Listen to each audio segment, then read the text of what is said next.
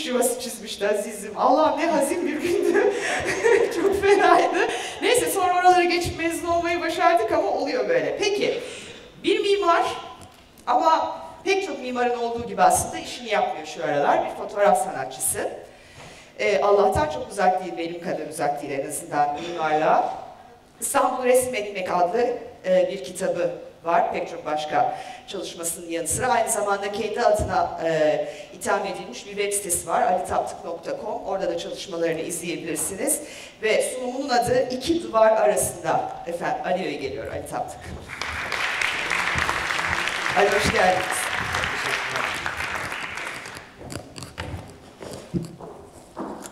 Ha, Yaşar Adan'ın sunumuyla, harika esprili sunumuyla yarışmam çok zor ama e, bu arkamdaki bitkinin ne olduğunu tahmin edebilecek olanlarınız var mı aranızda? Kabak, kabak çok iyi. Ben bilemiyorum, ben bir apartman çocuğuyum ama İstanbulluyum. Ee, bahsetmek istediğim konu da aslında Yedikule Bostanları bu akşam. Ee, 6 Temmuz'dan beri Yedikule Bostanları'nda bir park projesine itiraz ederken bulmuş durumdayım kendimi. Bu bahsettiğim başlıkta geçen iki duvar da bir tanesi ileride gördüğünüz Yedikule konaklarının duvarı, diğeri de 1500 yıllık Teodizyan surları. Bu arada gördüğünüz makinelerde şu an hala yeşil olmakta olan bostanların üstünü molozla örtüyorlar. Şimdi neden molozla örtüyorlar? Park yapmak için. Buna sonra geleceğiz. Bu bahsettiğim alanı görüyorsunuz. Yedikule Kapı ile Belgrad Kapı arasındaki bir park projesi. Bu ve bu park projesi aslında kentsel yenileme alanı ilan edilmiş bir bölgede yapılıyor. Kentsel yenileme alanı de, denmesi, burası tamamen aslında bir e, sur koruma bandı içinde yer alsa da gayet bypass edebiliyorlar. Çünkü ikinci yenileme anıtlar kurulunun idaresine giriyor. Biz bu bostanlar, tarihi bostanlar, 1500 yıllık bostanlar diye karşı çıkmaya başladığımız ilk noktada ki dünyanın en eski kentsel tarım alanlarından bahsediyoruz. Yok öyle bir şey, bunlar 20-30 senelik dedi ama gördüğünüz bir önceki harita 1807 tarihliydi. İsmail Paşa Bahçesi'ni orada ismiyle görebiliyordunuz. Bu da Berkray'ın bir fotoğrafı 1890'dan. Yine bostanları görebiliyorsunuz. Arkada Yedikule zindanları var. Şimdi bu projeye karşı çıkmak, bir park projesi, e kamusal alan ne kadar güzel, niye karşı çıkıyorsunuz diyebilirsiniz. Ama gıda ile aramızdaki ilişkiyi unutmamamız ve tekrar düşünmemiz gerekiyor. Eskiden İstanbul'un Fulya'da, Langa'da bostanlarını takip edebiliyorsunuz. Bu bostanlar Osmanlı'nın Osmanlı Devleti yıkıldığında var olan bostanlar ve siyah gördüğünüz noktalar ise sadece 1998'de kalmış olan bostanlar.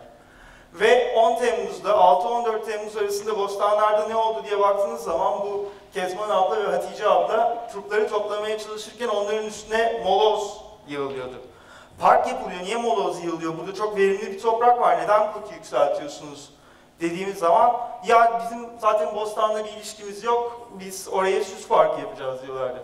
Bu kotun yükseltilmesi neden önemli? Mimarlarla konuşuyoruz. Uzun zaman sonra tekrar kesit çizmem gerekti ama bu bütün aslında yüzlerce yıllık teraslama setleri var ve eğer siz teraslamayı yok ederseniz sulama imkanını da yok etmiş oluyorsunuz. Peki yerine gelecek olan parka bakıyoruz. İkinci Anıtlar Kurulu'ndan, ikinci Yenileme Anıtlar Kurulu'ndan onaylanmış proje. Yukarıda gördüğümüz proje. Bu proje onaylandığı anda bütün alan proje onaylanıyor ve bütün detayların uygulama projesinde çözüleceği söyleniyor. Sonra bir dahaki projeye bakıyoruz. Bu belediyenin ilan ettiği proje. Görüyorsunuz çok güzel çizgiler, bir süs havuzu ve yapılaşmaları görmeye başlıyorsunuz. Bu arada Yedikule konaklarınıza dikkat çekiyorum. Aslında çok küçük bir proje ama Erdoğan Bayraktar'ın ilk projelerinden bir tanesi kendisi. Bu noktada acaba burası bir sosyal tesis mi yoksa gerçekten bir park mı diye sormaya başlıyoruz. Peki tekrar ilan edilen plana baktığımız zaman artık yapılaşma gitgide artıyor ve e, park kısmı çok daha azalmaya başlıyor. Şimdi peki bu park nasıl bir park olacak diye sorduğumuzda spor parkı uygun görülmüş. Bir park. Bu çözünürlüğün kötü olması da ancak bu, bu çeşit görsellere ulaşabiliyorsunuz. Daha fazlasını bize sunmuyorlar. Bu bir spor parkı. Özellikle kendi tanıtım broşürlerinde spor parkı olarak geçiyor. İşte spor spor bilincinin yükseltilmesi, geliştirilmesinden bahsediliyor.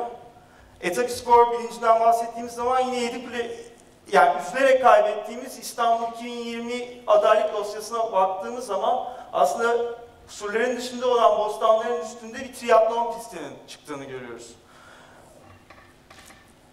Peki 2020'yi kaybettik. Şimdi ne olacak? Bu Kezban abla fasulyeleri topluyor. Ben apartman çocuğu olduğumu söylemiştim. Onların fasulye olduğunu anlamam bile bir süre aldı.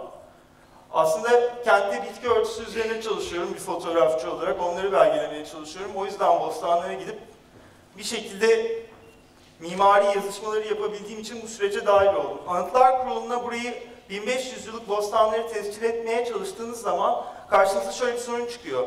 Bostanları biz ilgilenmiyoruz. Kültürel mirasla biz ilgilenmiyoruz. Ağaçla, bitkiyle biz ilgilenmiyoruz. Halbuki aslında bunlar onların görevi çünkü burası sur koruma bandı ve yani 2. Mahmut döneminden kalmış eee, su havuzları hala duruyor, sulama havuzları ve aynı şekilde yaklaşık yani Bizans döneminden kaldığı düşünülen kuyular da burada bulunuyor. Bu noktada tekrar şey, genellikle ben bu işi arkadaşlarıma anlattığım zaman o bostanlar zaten otoyolun kenarında kötü, pis hava, işte nasıl sulanıyor onlar bilmiyoruz vesaireden bahsediyorlardı. Ama o sular aslında eski Likya Deresi'nden çıkıyor, kapatılmış. Ee, biz de bypass etmeye karar verdik. Burası bir okul kurulması için çok uygun bir noktaydı ve biz de Tarihi Yedikule Bostan Okulu'nu kurduk. Ee, bostanlarda bostancılarla birlikte etkinlikler düzenliyoruz. Bu etkinliklerde e, bostan korkuluğu yapmaktan arkeobotani atölyesine, e, tarım tarihinde Osmanlı'da bitkilerin nasıl iyileştirildiğini anlatan derslerden tohum e, değişimine derslerine kadar birçok ders organize ediyoruz ve bu şekilde ilerlemeye devam ediyoruz. E, bostanlara bekleriz. Etkinliklerimizi takip edebilirsiniz ve gerçekten aslında kaybetmememiz gereken bir alan. Ee, sur içindeki bostanların çoğunu şu anda kaybettik. Bu kot yükseltmesiyle kapanmış durumdalar. Ama sur dışında hala ve hendeklerde hala bostanlar mevcut ama onların da geleceği çok büyük bir soru işareti. O yüzden desteğinizi bekliyoruz. Çok teşekkürler. İyi akşamlar.